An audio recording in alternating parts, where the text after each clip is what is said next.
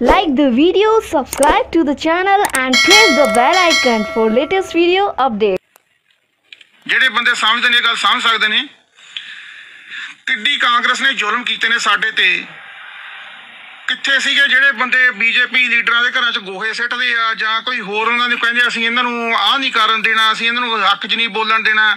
ਜਦੋਂ ਕਾਂਗਰਸ ਨੇ ਤੁਹਾਡੇ ਟੈਂਕ ਆਪਣੇ ਚਾੜਿਆ ਗੁਰਦੁਆਰਿਆਂ ਦੇ ਉੱਤੇ ਉਦੋਂ ਤਾਂ ਕਿਸੇ ਤੋਂ ਗੋਹਾ ਸਿੱਟ ਨਹੀਂ ਹੋਇਆ। ਉਦੋਂ ਤੱਕ ਕਿਸੇ ਤੋਂ ਬੀਜੇਪੀ ਲੀਡਰ ਦਾ ਘਰ ਘੇਰ ਨਹੀਂ ਹੋਇਆ। ਕਾਂਗਰਸ ਨੂੰ ਅੱਜ ਤੱਕ ਕਿਹਾ ਵੀ ਅਸੀਂ ਰੈਲੀ ਨਹੀਂ ਕਰਨ ਦੇਣੀ। ਮੈਨੂੰ ਇੱਕ ਵੀ ਐਗਜ਼ਾਮਪਲ ਦਿਖਾ ਦਿਓ, ਮੈਂ ਨਹੀਂ ਦੇਖੀ। 45 ਸਾਲ ਮੇਰੀ ਉਮਰ ਆ ਵੀ ਇੱਥੇ ਕਿਹਾ ਹੋਵੇ ਵੀ ਅਸੀਂ ਕਾਂਗਰਸ ਨੂੰ ਰੈਲੀ ਨਹੀਂ ਕਰਨ ਦੇਣੀ। ਔਰ ਸ਼ਰਮ ਦੀ ਗੱਲ ਇੱਕ ਹੋਰ ਇਹ ਆ ਵੀ ਹਿੰਦੁਸਤਾਨ ਦੇ ਵਿੱਚ ਕਾਂਗਰਸ ਦੀ ਫੱਟੀ ਪੋਚੀ ਗਈ ਆ। ਕਾਂਗਰਸ ਜ਼ੀਰੋ ਹੋ ਗਈ ਆ। ਪਰ ਪੰਜਾਬ ਦੇ ਵਿੱਚ ਜਿਹਦੇ ਤੇ ਜਿਹੜੇ ਸੂਬੇ ਦੇ ਉੱਤੇ ਸਭ ਤੋਂ ਜ਼ਿਆਦਾ ਜ਼ੁਲਮ ਕੀਤੇ ਆ ਕਾਂਗਰਸ ਪਾਰਟੀ ਨੇ, ਸਾਡੇ ਹਰਮੰਦਰ ਸਾਹਿਬ ਦੇ ਉੱਤੇ ਟੈਂਕ ਚੜਾ ਤੇ ਸਾਡੀਆਂ ਔਰਤਾਂ ਦੇ ਨਾਲ ਕਿੰਨੀਆਂ ਬਦਸਲੂਕੀਆਂ ਕੀਤੀਆਂ ਦਿੱਲੀ ਦੇ ਵਿੱਚ, ਨਵੰਬਰ ਦੇ ਵਿੱਚ। ਸਾਡੇ ਨਾਲ ਇੰਨਾ ਕੁਛ ਉਹਨਾਂ ਨੇ ਕੀਤਾ, ਗੁਰੂ ਸਾਹਿਬ ਦੀਆਂ ਬੇਅਦਬੀਆਂ ਉਹਨਾਂ ਨੇ ਕੀਤੀਆਂ। ਇੱਕ ਵੀ ਵਾਰੀ ਕਦੇ ਮੈਂ ਨਹੀਂ ਸੁਣਿਆ ਹੈਗਾ ਕਿ ਇੱਥੇ ਕੋਈ ਗਰੁੱਪ ਉੱਠਿਆ ਹੋਵੇ ਤੇ ਕਹਿੰਦਾ ਹੋਵੇ ਕਿ ਇਹ ਅਸੀਂ ਕਾਂਗਰਸੀ ਨੂੰ ਰੈਲੀ ਨਹੀਂ ਕਰਨ ਦੇਣੀ, ਜਾਂ ਅਸੀਂ ਕਾਂਗਰਸੀਆਂ ਦੇ ਘਰਾਂ ਮੂਹਰੇ ਗੋਹਾ ਸਿੱਟਿਆਵਾਂਗੇ ਜਾਂ ਕੋਈ ਹੋਰ ਇਸ ਤਰ੍ਹਾਂ ਦੀ ਜੋ ਬੀਜੇਪੀ ਦੇ ਲੀਡਰਾਂ ਨਾਲ ਕੀਤਾ ਜਾ ਰਿਹਾ ਗਲਤ, ਮੈਂ ਗਲਤ ਨੂੰ ਗਲਤ ਕਹਿਣ ਵਾਸਤੇ ਕਹਿ ਰਿਹਾ। ਵੀ ਉਹ ਤੁਹਾਨੂੰ ਹੱਕ ਦੇ ਰਹੇ ਆ, ਆਪਦੀ ਸਰਕਾਰ ਹੁੰਦੇ ਹੋਏ ਹੱਕ ਦੇ ਰਹੇ ਆ, ਵੀ ਤੁਸੀਂ ਪ੍ਰੋਟੈਸਟ ਕਰੋ, ਵਿਰੋਧ ਕਰੋ, ਪਰ ਤੁਸੀਂ ਕਹਿੰਦੇ ਹੋ? ਅਸੀਂ ਉਹਨਾਂ ਨੂੰ ਰੈਲੀ ਨਹੀਂ ਕਰਨ ਦੇਣੀ, ਦੱਸੋ। ਜੀ ਉਹ ਮਤਲਬ ਤੁਸੀਂ ਟਕਰਾਅ ਦੀ ਨੀਤੀ ਨਾ ਕਰੋ ਹੱਥ ਵੇਖ ਕੇ ਬੰਨ ਕੇ ਬੇਨਤੀ ਆ, ਭਰਾਵੋ, ਗਲਤ ਗੱਲ ਗਲਤ ਆ। ਯਾਦ ਕਰ ਲਓ ਕਾਂਗਰਸ। ਨਾਲੋਂ ਇਹ ਇਹਨੂੰ ਕੰਪੇਅਰ ਕਰਕੇ ਵੀ ਕਿੰਨੀ ਬੈਟਰ ਪਾਰਟੀ ਹੈ ਮੈਂ ਨਹੀਂ ਕਹਿੰਦਾ ਵੀ ਦੁੱਧ ਧੋਤੀ ਆ। ਬੀਜੇਪੀ ਲੱਖ ਘਾਟਾਂ ਕਮੀਆਂ ਹੋਣਗੀਆਂ, ਪਰ ਬੀਜੇਪੀ ਕਾਂਗਰਸ ਨੂੰ ਬੈਟਰ ਜਿੰਨਾ ਕੁ ਦਿਮਾਗ ਦਿੱਤਾ ਰੱਬ ਨੇ, ਇਹ ਗੱਲ ਮੈਂ ਜ਼ਰੂਰ ਕਹੂੰਗਾ। ਕਿਸੇ ਨੂੰ ਲੋਕਾਂ ਨੂੰ ਕੌੜੀ ਬਹੁਤ ਲੱਗਣੀ ਆ। ਕਾਂਗਰਸ ਦੇ ਚਾਮਚਿਆਂ ਨੇ ਗੱਲ ਬਹੁਤ ਤਕਲੀਫ ਮੰਨਣੀ ਇਸ ਗੱਲ ਤੋਂ। ਜਿੰਨੀਆਂ ਮੋਦੀ ਨੂੰ ਤੁਸੀਂ ਗਾਲਾਂ ਕੱਢ ਲੈਂਦੇ ਹੋ ਅੱਜ, ਤੁਸੀਂ ਦੱਸੋ ਕਿਤੇ ਕਾਂਗਰਸ ਦਾ ਕੋਈ ਹੋਵੇ। ਪ੍ਰਧਾਨ ਮੰਤਰੀ ਕੋਈ ਕਹਿ ਸਕਦਾ ਸੀ ਉਹਨੂੰ ਇਦਾਂ ਦੀਆਂ ਗਾਲਾਂ ਇਦਾਂ ਮੰਦਾ ਚੰਗਾ। ਕਿੰਨੀਆਂ ਕਿਸਾਨਾਂ ਨੇ ਇਹ ਗੱਲਾਂ ਕੀਤੀਆਂ, ਕਈ ਮਤਲਬ ਵੀਡੀਓ, YouTube, Facebook ਤੇ ਇੱਧਰ ਉੱਧਰ ਚੱਲਦੀਆਂ ਫਿਰਦੀਆਂ ਨੇ। ਬਾਕੀ ਇੱਕ ਵਾਰੀ ਮੈਂ ਫੇਰ ਕਹਿ ਦਿੰਦਾ ਬਿੱਲ ਕੋਈ ਇਹ ਨਹੀਂ ਹੈਗਾ ਵੀ ਇਹ ਬਿੱਲ ਅ- ਅਬਾਨੀ ਨੇ, ਅਡਾਨੀ ਨੇ ਲਿਆਂਦਾ ਜਾਂ ਉਹਨਾਂ ਨੇ ਮੈਨ- ਮੈਂ ਜੋ ਮੇਰੇ ਦਿਲ ਦੀ ਆਵਾਜ਼ ਆ, ਮੈਨੂੰ ਜਿੰਨੀ ਅੰਡਰਸਟੈਂਡ ਕਰ ਉਹਨਾਂ ਨੇ ਨਾ ਬਿੱਲ ਪੜਿਆ ਨਾ ਬਿੱਲ ਉਹਨਾਂ ਨੇ ਕਦੇ ਕਿਹਾ ਵੀ ਆ ਚਾਹ ਐਡ ਕਰੋ। ਨਾ ਅਬਾਨੀ ਅਡਾਨੀ ਦੀਆਂ ਮੱਝਾਂ ਠੰਡ 'ਚ ਮਰਦੀਆਂ ਨੇ ਵੀ ਉਹਨਾਂ ਨੇ ਜ਼ਮੀਨ ਤੇ ਕਬਜ਼ਾ ਕਰਕੇ ਇੱਥੇ। ਆਪਣਾ ਕੋਈ ਉਹਨਾਂ ਦਾ ਕੋਈ ਬਹੁਤ ਘਲਾੜੀ ਚ ਬਾਹ ਆਈ ਹੋਈ ਆ ਜਿਹੜੀ ਆ ਜ਼ਮੀਨਾਂ ਦੇ ਨਾਲ। ਨਾ ਕਿਸੇ ਨੇ ਕੋਈ ਕਬਜ਼ਾ ਕਰਨਾ, ਨਾ ਕੋਈ ਕਬਜ਼ਾ ਕਰਨ ਦਿੰਦਾ, ਪੈਰ ਤਾਂ ਅਸੀਂ ਪਾਉਣ ਨਹੀਂ ਦਿੰਦੇ ਹੈਗੇ। 800 ਸਾਲਾਂ ਦੇ 1000 ਸਾਲ ਦੇ ਰਾਜ ਗੁਲਾਮ ਅਸੀਂ ਰਹਿ ਕੇ ਅਸੀਂ ਉਹ ਭਜਾਤੀ ਆ ਤੇ ਇਹ ਕਿਹੜਾ ਇੱਕ ਬਿੱਲ ਦੇ ਨਾਲ ਕੀ 19 ਦਾ ਫ਼ਰਕ ਪੈ ਜੂ? ਬਾਕੀ ਇਹ ਤਾਂ ਉਹ ਗੱਲ ਹੋ ਗਈ ਭਈ ਜਿਵੇਂ ਉਹ ਬੈਠੇ, ਉਹਨਾਂ ਨੂੰ ਕਹਦਾ ਭਈ ਚਲੋ ਬਈ, ਕੋਈ ਕੰਮ ਧੰਦਾ ਕਰ ਲੋ ਕਹਿੰਦੇ ਕੀ ਕਰੀਏ? ਖੇਤੀ ਕਰ ਲਓ, ਚਲੋ ਖੇਤੀ ਕਰ ਲੈਨੇ ਆ ਕੀ ਬੀਜੀਏ, ਇਹ ਬੀਜੀਏ, ਉਹ ਬੀਜੀਏ, ਕਹਿੰਦੇ ਗੰਨਾ ਬੀਜ ਲੋ ਉਹ ਯਾਰ ਗੰਨਾ ਪਿੰਡ ਦੇ ਲੋਕ ਫਿਰ ਕਹਿੰਦੇ ਵੀ ਇਹ ਤਾਂ ਪੱਟਣਗੇ ਲੋਕ। ਉਹ ਪਿੰਡ ਦੇ ਲੋਕ ਗੰਨਾ ਪੱਟਣਗੇ, ਚਲੋ ਫਿਰ ਪਿੰਡ ਨੂੰ ਅੱਗ ਲਾ ਦਿੰਨੇ ਆ। ਤੇ ਉੱਠ ਕੇ ਪਿੰਡ ਨੂੰ ਅੱਗ ਲਾਉਣ ਚਲੇ ਗਏ। ਆ ਜਿਹੜੇ ਲੀਡਰ ਨੇ, ਇਹ ਗੱਲਾਂ, ਇਹ ਗ- ਇਹਨਾਂ ਦੀ ਇਹ ਸੋਚ ਹੈ, ਇਹੋ ਜੀ ਅਮਲੀਆਂ ਵਾਲੀ, ਕਾਮਰੇਡ ਲੀਡਰਾਂ ਦੀ। ਸਾਫ਼ ਤੌਰ ਤੇ ਮੈਂ ਕਾਮਰੇਡ ਲੀਡਰ ਜ- ਉਹ 32 ਜਥੇਬੰਦੀਆਂ ਦੀ ਦੇ ਲੀਡਰਾਂ ਨੂੰ ਕਹਿ ਰਿਹਾ। ਆ, ਇਹ ਪਹਿਲਾਂ ਬਿੱਲ ਲਾਗੂ ਹੋ ਜਾਊਗਾ, ਫਿਰ ਇਹ ਲਾਗੂ ਹੋਇਆ ਫਾਇਦਾ ਕਰ ਦੂ, ਕਿਸਾਨਾਂ ਦੇ ਘਰਾਂ 'ਚ ਖੁਸ਼ਹਾਲੀ ਹੋ ਜੂ, ਕਿਸਾਨਾਂ ਨੂੰ ਬੜਾ ਫ- ਫਾਇਦਾ, ਬੜੇ ਪ- ਲੱਖਾਂ ਰੁਪਈਆ ਦੇ ਦੇਣਗੇ, ਉਸ ਤੋਂ ਪਿੱਛੋਂ ਉਹ ਬਿੱਲ ਨੂੰ, ਉਸ ਤੋਂ ਪਿੱਛੋਂ ਨੁਕਸਾਨ ਕਰ ਦੇਣਗੇ। ਆਹ ਉਹ ਬਿਲਕੁਲ ਉਹ ਅਮਲੀ ਵਾਲੀ ਗੱਲ ਹੈ ਇਹ ਕਾਮਰੇਡ ਲੀਡਰ ਕਰੀ ਜਾਂਦੇ ਨੇ। ਜਦੋਂ ਕਹਿ ਰਹੇ ਆ ਤੁਹਾਨੂੰ ਵੀ ਤੁਸੀਂ ਦੱਸ ਲਓ ਇਹਨੂੰ ਕੀ ਐਡਿਟ ਕਰਨਾ ਹੈ ਚੋ ਡਿਲੀਟ ਕਰ ਦਿੰਦੇ ਆ ਚੋ ਸਾਈਡ ਕਰਨਾ ਐਡ ਕਰ ਦਿੰਦੇ ਆ। ਕੀ ਕਿ- ਕਿਵੇਂ ਕਿਵੇਂ ਅਡਾਨੀ ਅਡਾਨੀ ਉਹ ਨਹੀਂ ਕਰ ਦੇਣਗੇ ਉੱਥੇ ਜਦੋਂ ਤੁਸੀਂ ਪੰਜਾਬ ਸਰਕਾਰ ਕੋਲ ਮੰਗ ਰੱਖ ਲਓ ਵੀ ਪੰਜਾਬ ਤੋਂ ਬਾਹਰਲਾ ਬੰਦਾ ਇੱਥੇ ਖੇਤੀਬਾੜੀ ਦੀ ਜ਼ਮੀਨ ਨਾ ਖਰੀਦ ਸਕੇ। ਗੱਲ ਖਤਮ, ਲਗਭਗ 80% ਕਹਾਣੀ ਤਾਂ ਇੱਥੇ ਖਤਮ ਹੋ ਜਾਂਦੀ ਹੈ ਬਾਕੀ ਹੋਰ ਜਿਹੜੀਆਂ ਗੱਲਾਂ ਨੇ ਡਿਮਾਂਡ ਆ, ਉਹ ਡਿਮਾਂਡ ਰੱਖ ਲਓ। ਔਰ ਸਾਰੀ ਇਹ ਪੋਲਿਟਿਕਸ ਖੇਡੀ ਜਾ ਰਹੀ ਆ ਕਿਸਾਨਾਂ ਦੇ ਮੋਢੇ ਦੇ ਉੱਤੇ ਰੱਖ ਕੇ। ਔਰ ਕਿਸਾਨਾਂ ਦਾ ਮੇਰਾ ਆਪਣਾ ਭਰਾ ਵੀ ਉੱਥੇ ਗਿਆ ਹੋਇਆ ਭਰਾ ਹੀ ਲੱਗਦਾ, ਦਿੱਲੀ। ਉਹਨੂੰ ਮੈਂ ਪੁੱਛਿਆ, ਅੱਜ ਫੋਨ ਕਰਕੇ। ਮੈਂ ਖਰਚਾ ਕਿੰਨਾ ਪੈ ਰਿਹਾ? ਕਹਿੰਦਾ 11000 ਦਾ ਡੀਜ਼ਲ ਲੱਗ ਗਿਆ ਪਿਛਲੇ ਇੱਕ ਹਫ਼ਤੇ 'ਚ। ਇੱਥੋਂ, ਲੁਧਿਆਣੇ ਤੋਂ ਦਿੱਲੀ ਜਾਣ ਦਾ 5-6 ਦਿਨ ਉੱਥੇ ਰਹੇ ਆ, ਰਹਿ ਕੇ ਥੋੜਾ ਬਹੁਤ ਫੈਕਟਰੀ ਇੱਧਰ ਉੱਧਰ ਚਲਾਇਆ ਤੇ ਵਾਪਸ ਆਇਆ 5-6 ਦਿਨਾਂ ਦਾ। 11000 ਦਾ ਇੱਕ ਟਰੈਕਟਰ ਦਾ ਇੱਕ ਹਫ਼ਤੇ ਦਾ ਖਰਚਾ ਪੈ ਗਿਆ। ਕਿੰਨੇ ਅਰਬ ਖਰਬ ਦਾ ਡੀਜ਼ਲ ਫੂਕਤਾ ਵੀ ਕਿਸਾਨਾਂ ਦਾ? ਜਿਹੜੀਆਂ ਜ਼ਮੀਨਾਂ ਤੁਸੀਂ ਕਹਿੰਦੇ ਹੋ, ਵਾਨੀ ਜਿਹੜਾ ਆ ਮੇਰਾ ਖਿਆਲ ਆ ਵੀ ਅਰਬਾਂ ਖਰਬਾਂ ਦਾ ਤਾਂ ਤੁਸੀਂ ਹੁਣ ਹੀ ਕਰਜ਼ਾਈ ਕਰਦੇ ਆ ਕਿਸਾਨ। ਸਿਰਫ ਇਹ ਸੋਚ ਕੇ ਵੀ ਪਹਿਲਾਂ ਕਿਸਾਨਾਂ ਦਾ ਫਾਇਦਾ ਹੋਊ, ਫਿਰ ਕਿਸਾਨਾਂ ਦਾ ਨੁਕਸਾਨ ਹੋਊ, ਉਹ ਅਸੀਂ ਗੱਲ ਡਿਲੀਟ ਵੀ ਨਹੀਂ ਕਰਨੀ ਹੈਗੀ। ਇਹ ਇਹ ਗੱਲ ਦੀ ਜਿੱਦ ਕਰਕੇ। ਮੈਨੂੰ ਨਹੀਂ ਪਤਾ ਕਿੰਨੇ ਕਿਸਾਨ ਨੇ, ਮੇਰਾ ਅੰਦਾਜ਼ਾ ਵੀ ਚਲੋ 40 ਕਰੋੜ ਕਿਸਾਨ ਹੋਣਗੇ। ਸ਼ਾਇਦ 40 ਕਰੋੜ ਦੇ ਵਿੱਚੋਂ 10 ਲੱਖ ਕਿਸਾਨ ਜੇ ਵਿਰੋਧ ਦੇ ਵਿੱਚ ਬੈਠਾ ਵੀ ਆ ਤੇ ਉਹ ਤੁਸੀਂ ਦੇਖ ਲਓ ਕਿੰਨੇ 1% ਬਣ ਗਿਆ। ਜੇ ਪੱਖ ਦੀ ਗੱਲ ਕਰੀਏ, ਪੱਖਾਂ ਦੀ ਗਿਣਤੀ ਵੀ ਘੱਟ ਨਹੀਂ ਗਈ। ਪਰ ਆਪਾਂ ਆਪਣੇ ਭਰਾਵਾਂ ਨਾਲ ਬਵਾਚ ਨਹੀਂ ਪੈਂਦੇ ਕਿ ਕਿਵੇਂ ਆ ਇਦਾਂ ਗਲਤ ਆ, ਸਹੀ ਆ, ਪਰ ਜਿਹੜੀਆਂ ਗੱਲਾਂ ਕੀਤੀਆਂ ਜਾ ਰਹੀਆਂ ਨੇ, ਇਹਨਾਂ ਦੇ ਵਿੱਚ ਕੋਈ ਬਹੁਤੀ ਖਾਸ ਦਲੀਲ ਨਹੀਂ ਹੈਗੀ। 1991 ਦੇ ਵਿੱਚ ਪੂੰਜੀਵਾਦ ਦੇ ਅੱਗੇ ਸਮਾਜਵਾਦ ਨੇ ਹਥਿਆਰ ਸਿੱਟ ਦਿਆ ਔਰ ਉਹਦੇ ਮੂਹਰੇ ਹਾਰ ਸਵੀਕਾਰ ਕਰ ਲਈ ਆ। ਉਸ ਦੇ ਵਿੱਚੋਂ ਪਿਛਲੇ 20 ਸਾਲਾਂ ਤੋਂ ਇਹ ਬਿੱਲ ਆ ਰਹੇ ਨੇ ਔਰ ਇਹ ਕੰਟੀਨਿਊਸਲੀ ਚੱਲਣਗੇ। ਉਹ ਹਾਰ ਸਵੀਕਾਰ ਕਰ ਚੁੱਕੀ ਆ ਸਮਾਜਵਾਦ। ਇਹ ਉਹ ਮਰ ਚੁੱਕਿਆ ਸਮਾਜਵਾਦ ਆ ਜਿਹਦੇ ਇਹ ਆ ਕਾਮਰੇਡੀ 20 32 32 ਜਥੇਬੰਦੀਆਂ ਜਿਹੜੀਆਂ ਉਹਦੀਆਂ, ਉਹਦੇ ਅੰਸ਼ ਨੇ। ਉਹਦੇ ਬਚੇ ਆ ਗਿਆ ਸੀ। ਸੋ ਪਲੀਜ਼ ਇਹ ਬੇਨਤੀਆਂ ਸੀਗੀਆਂ ਤੇ ਵਿਚਾਰ ਕਰੋ।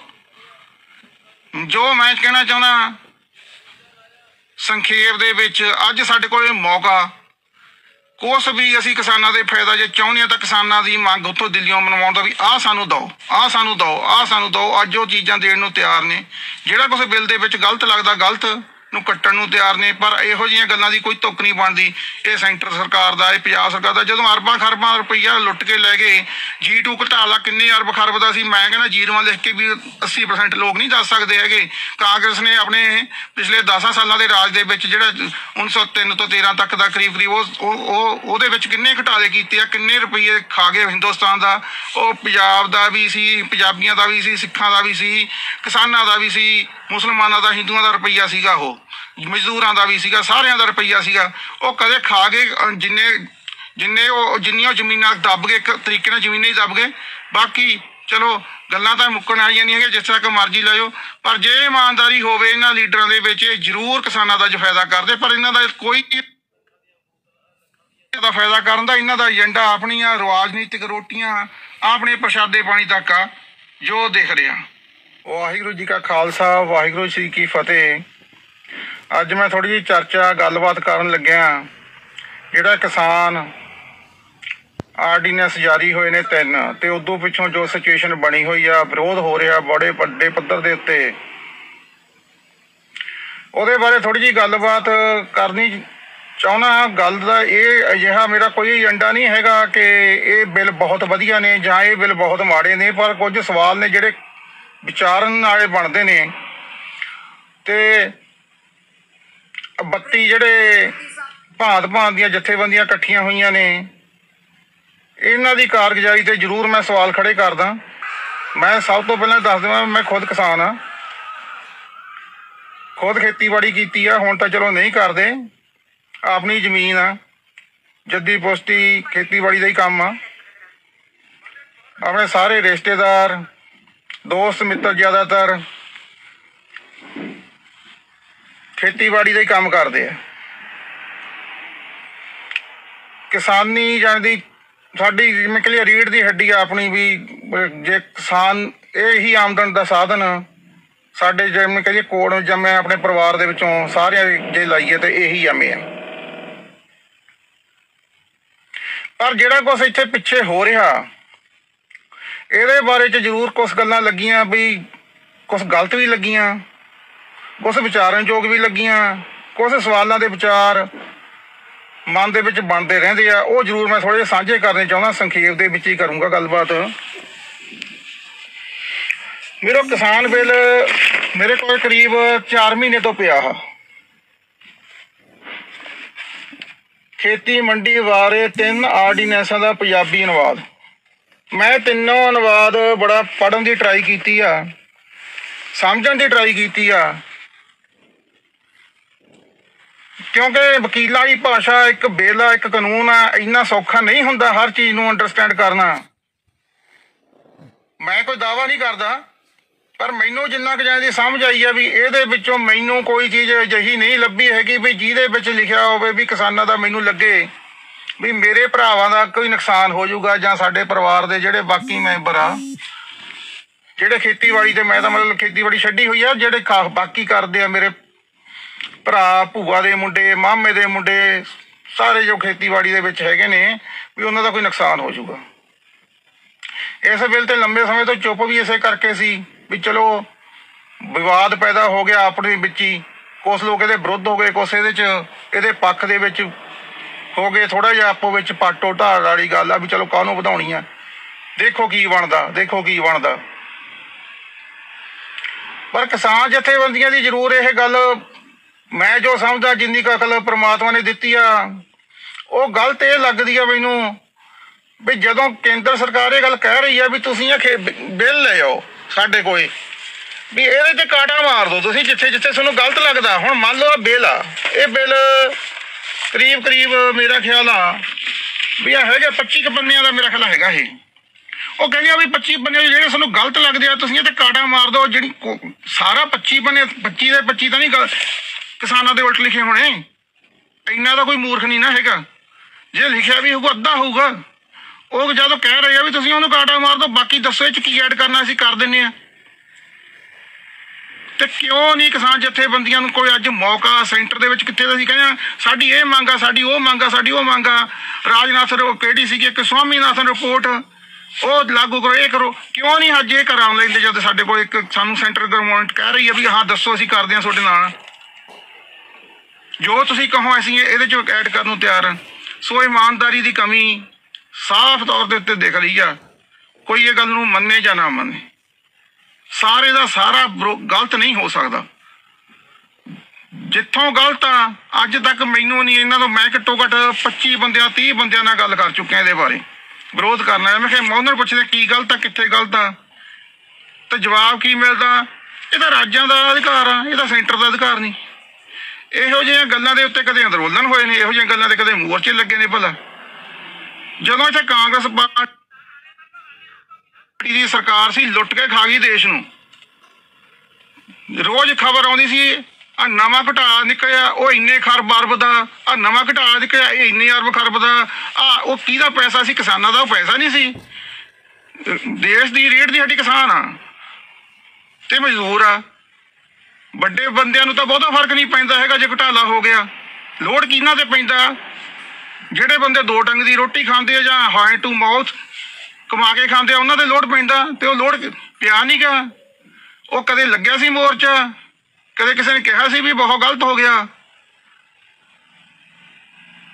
ਸੋ ਕੋਈ ਇਹਦੇ ਚ ਇਮਾਨਦਾਰੀ ਵਾਲੀ ਗੱਲ ਨਹੀਂ ਲੱਗਦੀ ਹੈਗੀ। ਜਦੋਂ ਕੇਂਦਰ ਸਰਕਾਰ ਇਹ ਕਹਿ ਰਹੀ ਆ ਵੀ ਤੁਸੀਂ ਦੱਸੋ, ਅਸੀਂ ਇਹਨੂੰ ਐਡਿਟ ਕਰ ਦਿੰਨੇ ਆ। ਅੱਜ ਸਾਡੇ ਕੋਲ ਮੌਕਾ ਸੀ ਐਡਿਟ ਕਰਕੇ ਕਿਸਾਨਾਂ ਦਾ ਫਾਇਦਾ ਕਰਨ ਦਾ, ਪਰ ਕਿਸਾਨ ਜਥੇਬੰਦੀਆਂ ਦੇ ਜਿਹੜੇ ਲੀਡਰ ਨੇ, ਕਾਮਰੇਡ ਇਹਨਾਂ ਦਾ ਕੋਈ ਏਜੰਡਾ ਨਹੀਂ ਹੈਗਾ ਕਿਸਾਨਾਂ ਦਾ ਫਾਇਦਾ ਕਰਨ ਦਾ ਜੋ ਲੱਗ ਰਿਹਾ ਜੋ ਇਹਨਾਂ ਦੀ ਆ ਕਾਰਗੁਜ਼ਾਰੀ ਦੱਸ ਰਹੀ ਹੈ ਇਸ ਗੱਲ ਤੋਂ ਲੈ ਕੇ। ਦੂਸਰੀ ਗੱਲ ਆਮ ਬੰਦਾ ਸ਼ਾਇਦ ਨਾ ਸਮਝ ਸਕੇ ਪਰ ਜੇ ਥੋੜਾ ਬਹੁਤ ਧਿਆਨ ਦੇਵੇ ਸਾਰ ਬੰਦੇ ਨੂੰ ਸਮਝ ਆ, 1950 ਦੇ ਕਰੀਬ ਪੂੰਜੀਵਾਦ ਤੇ ਸਮਾਜਵਾਦ ਦਾ ਟਕਰਾਅ ਸਿਖਰ ਤੇ ਪਹੁੰਚ ਗਿਆ ਸੀਗਾ। ਸੰਸਾਰ ਦੇ ਵਿੱਚ ਦੋ ਧਿਰਾਂ ਦੇ ਵਿੱਚ ਲੜਾਈ ਹੋਈ ਆ। ਦੋ ਧਿਰਾਂ ਦੇ ਵਿੱਚ 50 ਸਾਲ ਸੰਘਰਸ਼ ਚੱਲਿਆ। ਸਮਾਜਵਾਦ ਤੇ ਪੂੰਜੀਵਾਦ ਦੇ ਵਿੱਚ।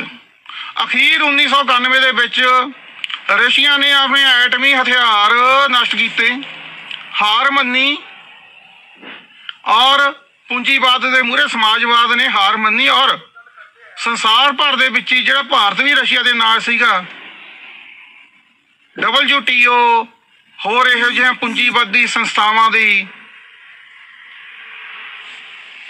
ਅਧੀਨ ਕੀ ਕਹਿ ਲੋ ਜਾਂ ਉਹਨਾਂ ਦੀ ਮਤਲਬ ਕਹਿ ਲਈਏ ਵੀ ਅਸੀਂ ਤੁਹਾਡੇ ਪਿੱਛੇ ਚੱਲਾਂਗੇ, ਤੁਹਾਡੇ ਨਾਲ ਚੱਲਾਂਗੇ, ਇਹ ਅਧੀਨ ਕੀ ਸਵੀਕਾਰ ਕੀਤੀ? ਉਸ ਦੇ ਵਿੱਚੋਂ ਇਹ ਕਾਨੂੰਨ ਲਾਗੂ ਹੋਏ, ਉਹ ਹੋ ਰਿਹਾ। ਇਹ ਕਾਨੂੰਨ ਕੀ ਕਹਿ ਰਿਹਾ?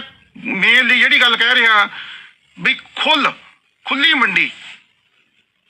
ਕਿਸਾਨ, ਅਹ, ਸਰਕਾਰ ਦਾ ਕੰਟਰੋਲ ਇਹ ਦੇਖੋ ਕਿੱਡਾ ਵੱਡਾ ਝੂਠ ਬੋਲਿਆ ਜਾ ਰਿਹਾ ਇਸ ਗੱਲ ਦੇ ਉੱਤੇ। ਆ ਅਬਾਨੀ ਅਡਾਨੀ ਜ਼ਮੀਨਾਂ ਹੜੱਪ ਕਰ ਲੈਣਗੇ। ਇਸ ਕਰਕੇ ਜ਼ਮੀਨਾਂ ਕਿਸਾਨਾਂ ਦੇ ਕੋਲੋਂ ਚਲੀਆਂ ਜਾਣਗੀਆਂ। ਜਿਹੜੇ ਬੰਦੇ ਨੂੰ ਵੀ ਧਿਆਨ ਨਾਲ ਦੇਖੋ ਕਿ ਕਾਮਰੇਡਾਂ ਦੀ ਇਹ ਸੋਚ ਨਹੀਂ ਹੈਗੀ ਵੀ ਸਾਰੇ ਕਿਸਾਨਾਂ ਕੋਲੋਂ ਜ਼ਮੀਨ ਖੋ ਕੇ ਸਰਕਾਰ ਨੂੰ ਦਿੱਤੀ ਜਾਵੇ। ਜਿਹੜੀਆਂ ਵਿਰੋਧ ਜਥੇਬੰਦੀਆਂ ਕਰ ਰਹੀਆਂ ਮੇਨਲੀ ਉਹ ਤਾਂ ਕਿਸਾਨਾਂ ਕੋਲ ਜ਼ਮੀਨ ਨੂੰ ਉਹਦਾ ਸੋਚ, ਉਹਨਾਂ ਦੀ ਤਾਂ ਵਿਚਾਰਧਾਰਾ ਨਹੀਂ ਹੈਗੀ ਵੀ ਜ਼ਮੀਨ ਕਿਸਾਨਾਂ ਦੇ ਕੋਲੇ ਰਹੇ। ਉਹ ਤਾਂ ਸੋਚਦੇ ਹੀ ਇਹ ਆ ਵੀ ਜ਼ਮੀਨ ਦੇ ਉੱਤੇ ਸਰਕਾਰ ਦਾ ਮਲਕੀਅਤ ਬਣੇ। ਉਹਨਾਂ ਦੀ ਤਾਂ ਵਿਚਾਰਧਾਰਾ ਹੀ ਇਹੀ ਆ। ਸੋ ਜਿਹੜੇ ਬੰਦੇ ਖੁਦ ਸੋਚਦੇ ਨੇ ਵੀ ਕਿਸਾਨਾਂ ਨੂੰ ਹੱਕ ਨਹੀਂ ਹੋਣਾ ਚਾਹੀਦਾ ਜ਼ਮੀਨਾਂ ਰੱਖਣ ਦਾ, ਕਿਸਾਨਾਂ ਨੂੰ ਹੱਕ ਨਹੀਂ ਹੋਣਾ ਚਾਹੀਦਾ ਕਿ ਇਹ ਹੱਕ ਸਰਕਾਰ, ਕਾਂਗਰਸ ਆਪਣੇ ਕਿਸਾਨਾਂ ਤੋਂ ਖੋਹ ਲੈਣਾ ਚਾਹੀਦਾ ਜ਼ਮੀਨਾਂ ਦੇ ਕੰਟਰੋਲ ਰੱਖਣ ਦਾ। ਉਹ ਇਹ ਗੱਲਾਂ ਕਹਿ ਰਹੇ ਨੇ ਕਿ ਆਉਣ ਵਾਲੇ ਟਾਈਮ ਦੇ ਵਿੱਚ ਪੂੰਜੀਵਾਦੀ ਸਾਡੀਆਂ ਜ਼ਮੀਨਾਂ ਕਬਜ਼ੇ ਕਰ, ਦੱਸੋ, ਕਿਸ ਮੂੰਹ ਨਾਲ ਕਹੀ ਜਾਂਦੇ ਨੇ ਉਹ? ਦੂਸਰੀ ਗੱਲ ਲੈ ਲਓ। ਸਾਰੀਆਂ ਜਥੇਬੰਦੀਆਂ ਦੇ ਮੁੱਖ ਖ- ਗਿਣਤੀ ਬੰਦੇ। ਏ ਟੂ Z ਸਾਰੇ ਨਹੀਂ, ਬਹੁਤ ਗਿਣਤੀ ਬੰਦੇ ਜਿਹਨੇ ਵਿਰੋਧ ਕਰਨਾ ਨੇ ਉਹ। ਇਹ ਗੱਲਾਂ ਕਹਿ ਚੁੱਕੇ ਨੇ ਕਿ ਕਿਸਾਨਾਂ ਦਾ ਇਹ ਫਾਇਦਾ ਕਰੂਗਾ ਬਿੱਲ ਸ਼ਾਰਟ ਟਰਮ ਦੇ ਵਿੱਚ। ਕੁਝ ਸਾਲ ਇਹਦਾ ਫਾਇਦਾ ਕਰੂਗਾ, ਉਹ ਵੱਧ ਪੈਸੇ ਦੇਣਗੇ। ਮਤਲਬ ਇਹ ਗੱਲ ਇਹਨਾਂ ਨੂੰ ਵੀ ਖੁਦ ਨੂੰ ਪਤਾ ਵੀ ਇਹ ਬਿੱਲ ਇਸ ਗੱਲ ਤੋਂ ਪਤਾ ਲੱਗਦਾ ਇਸ ਗੱਲ ਤੋਂ, ਸਾਫ਼ ਕਲੀਅਰ ਹੁੰਦਾ ਵੀ ਇਹ ਬਿੱਲ ਕਿਸਾਨਾਂ ਦੇ ਹੱਕ ਦੇ ਵਿੱਚ ਆ, ਇਹਨਾਂ ਨੂੰ ਇਹ ਗੱਲ ਦਾ ਪਤਾ। ਕਿਉਂਕਿ ਜਦੋਂ ਬਿੱਲ ਇਹਨਾਂ ਨੂੰ ਵੀ ਇਹ ਗੱਲ ਦਾ ਆਈਡੀਆ ਸੀਗਾ ਵੀ ਬਿੱਲ ਵਾਪਸ ਹੋਣਾ ਨਹੀਂਗਾ ਤੇ ਇਹਨਾਂ ਨੇ ਆਉਣੇ ਸਮਲਾ ਦੇ ਵਿੱਚ ਫਾਇਦਾ ਕਰਨਾ, ਅਸੀਂ ਆਪਣਾ ਮੂੰਹ ਕਿਵੇਂ ਦਿਖਾਵਾਂਗੇ? ਇਹਨਾਂ ਨੇ ਖੁਦ ਲਗਭਗ ਬਹੁਤੇ ਲੀਡਰਾਂ ਨੇ ਇਹ ਗੱਲ ਕਹੀ ਆ ਕਿ ਇਹ ਸ਼ਾਰਟ ਟਰਮ ਥੋੜੇ ਸਾਲ ਫਾਇਦਾ ਕਰੂਗਾ, ਪਰ ਬਾਅਦ ਦੇ ਵਿੱਚ ਕਹਿੰਦੇ ਨੁਕਸਾਨ ਕਰੂਗਾ? ਦੱਸੋ, ਕੋਈ ਤੁੱਕ ਮੰਨਦੀ ਹੁੰਦੀ ਹੈ ਇਹੋ ਜਿਹੀ ਭਵਿੱਖਬਾਣੀਆਂ ਕੋਈ ਜੋਤਸ਼ੀਆਂ ਆਈਆਂ ਭਵਿੱਖਬਾਣੀਆਂ ਦੇ ਆਧਾਰ ਦੇ ਉੱਤੇ ਮੋਰਚੇ ਲੱਗਦੇ ਹੁੰਦੇ ਆ। ਜਦ ਖੁਦ ਤੁਸੀਂ ਮੰਨੀ ਜਾਂਦੇ ਹੋ ਵੀ ਫਾਇਦਾ ਕਰੂਗਾ, ਫਿਰ ਤੁਹਾਨੂੰ ਕਿਵੇਂ ਪਤਾ ਲੱਗਾ ਵੀ ਬਾਅਦ ਚ ਨੁਕਸਾਨ ਕਰੂਗਾ? ਸਿਰਫ ਇਹ ਇੱਕ ਇਮੇਜਿਨੇਸ਼ਨ ਆ, ਮਨ ਦੀ ਕਲਪਨਾ ਅੱਖਾਂ ਬੰਦ ਕਰਕੇ ਐ ਸੋਚ ਕੇ ਕਲਪਨਾ ਕਰ ਲਈ ਗਈ ਆ। ਉਹਦੇ ਆਧਾਰ ਦੇ ਉੱਤੇ ਆ ਦਲੀਲ ਦੇ ਦਿੱਤੀ ਗਈ ਆ। ਬਹੁਤਾ ਜ਼ਿਆਦਾ ਬਾਕੀ ਇਹ ਜੋ ਝੂਠ ਹੀ ਚੱਲਿਆ। ਸੱਚਾਈ ਕੁਛ ਨਹੀਂ ਹੈਗੀ। ਜੋ ਮਤਲਬ ਮੈਂ ਨਹੀਂ ਕਹਿੰਦਾ ਵੀ ਬਿੱਲ ਬਹੁਤ ਵਧੀਆ। ਇਹ ਮੇਰੀ ਗੱਲ ਸੁਣ ਲਓ। ਮੈਂ ਇਹ ਨਹੀਂ ਕਹਿੰਦਾ ਵੀ ਕਿਸਾਨੋ ਤੁਸੀਂ ਗੱਲ ਤੋਂ ਵਾਪਣ ਮੈਂ ਕਿਸਾਨ ਭਰਾ ਦੇ ਨਾਲ ਕਿਸਾਨਾਂ ਦੇ ਵਿੱਚੋਂ ਹੀ ਆ। ਅਲੱਗ ਨਹੀਂ ਹੈਗੇ। ਪਰ ਜੋ ਮਿਸ ਅੰਡਰਸਟੈਂਡਿੰਗ ਫੈਲਾਈ ਜਾ ਰਹੀ ਆ, ਗਲਤ ਝੂਠਾ ਪ੍ਰਾਪੇਗੰਡਾ ਕਰ ਰਹੇ ਆ ਲੋਕ। ਉਹਨਾਂ ਮੂਰੇ ਜ਼ਰੂਰ ਮੈਂ ਸਵਾਲ ਖੜੇ ਕਰਦਾ।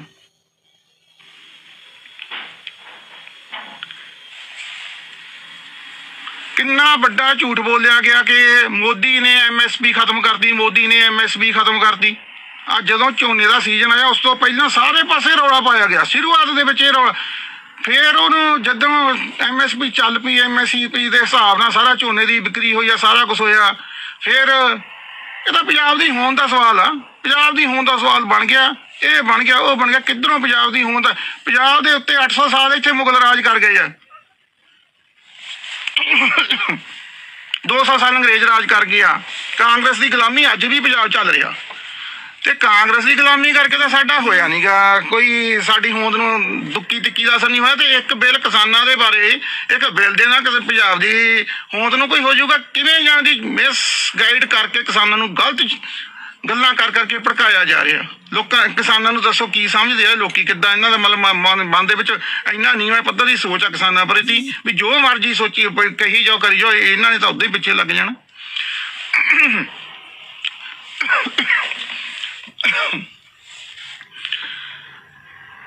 ਏਜੰਡੇ ਪੋਲੀਟੀਕਲ ਏਜੰਡੇ ਰੋਟੀਆਂ ਸੇਕਣ ਦੇ ਆਪਦੇ ਨੇ, ਉਹ ਕਾਮਰੇਡ ਨੇ ਇੱਥੇ ਬਹੁਤ ਤੁਰੇ ਫਿਰਦੇ। ਜਿਹੜੇ 1962 ਦੇ ਵਿੱਚ ਲਾਲਟਨ ਚੱਕ ਕੇ ਕਹਿ ਰਹੇ ਸੀ, ਚੀਨ ਦੀ ਫੌਜ ਕਿੱਥੇ ਪਹੁੰਚ ਗਈ ਕਿੱਥੇ ਪਹੁੰਚ ਗਈ ਆਜੋ ਆਜੋ ਆਜੋ। ਉਹ ਕਾਮਰੇਡ ਅੱਜ ਵੀ ਜਦ ਚੀਨ ਦੀਆਂ ਭਾਰਤ ਦੀਆਂ ਫੌਜਾਂ ਆਮਣੋ ਸਾਹਮਣੇ ਖੜੀਆਂ ਨੇ ਤੇ ਕਿਤੇ ਚੁੱਪ ਰਹਿਣਗੇ, ਉਹ ਕਿਤੇ ਟੇਕੇ ਬੈਠਣਗੇ, ਅੱਜ ਨਹੀਂ ਲਾਲਟਨ ਦਿਲਾਂ ਦੇ ਵਿੱਚ ਤਾਂ ਉਹਨਾਂ ਦੇ ਅੱਜ ਵੀ ਬੋਲ ਵੀ ਜਾਂਦੇ ਨੇ, ਇੱਥੇ ਗੱਲਾਂ 'ਚ ਵੀ ਕਹੇ ਜਾਂਦੇ ਨੇ ਉਹ। ਸੋ ਗੱਲਾਂ ਦਾ ਬਹੁਤ ਸਪਸ਼ਟ ਨੇ। ਬਾਕੀ ਇੱਕ ਗੱਲ ਹੋਰ ਆ, ਕਿਸੇ ਨੂੰ ਕੌੜੀ ਲੱਗੇ, ਮਿੱਠੀ ਲੱਗੇ, ਪਰ ਸੱਚਾਈ ਇਹੀ ਆ, ਬੀਜੇਪੀ ਲੱਖ ਮਾੜੀ ਹੋ ਸਕਦੀ ਆ, ਲੱਖ ਗਲਤ ਗੱਲਾਂ ਕੀਤੀਆਂ ਹੋ ਸਕਦੀਆਂ ਨੇ।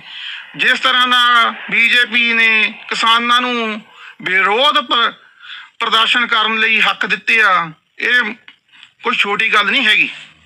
ਯਾਦ ਕਰ ਲਓ, ਕਾਂਗਰਸ ਦਾ ਤੇ ਗਊਆਂ ਦੀ ਰੱਖਿਆ ਵਾਸਤੇ ਹਿੰਦੂਆਂ ਨੇ ਅੰਦੋਲਨ ਕੀਤਾ ਸੀ। 5000 ਹਿੰਦੂ ਇੱਕ ਰਾਜ ਚ ਕਾਂਗਰਸ ਨੇ ਮਾਰਤਾ, ਏਡੀ ਘਟੀਆ ਪਾਰਟੀ ਕਾਂਗਰਸ ਪਾਰਟੀ।